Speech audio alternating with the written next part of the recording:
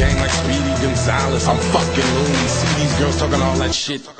I'm just trying to see some tits. Let's get it poppin' like MC Lyte around some dikes. I'm out this bitch like Hocus Pocus. And me and Lucas got a couple of pickles. I met it with some bitches, gave them couple of dimples. And then my dick went limp, so took about three pills of Extenzo. Now my dick longer than a five door limo. Harder than a soft white hook from Kimbo. On PCP and cilantro. When I'm with your bitch, I'm like, where my dick go? Now she think I'm about to eat her whole intro and lotta. I got a lot of that cream and I'm paying nada. It seems that I'm product placement, but not. I'm just fucking awesome. Your mama look like a ugly loser.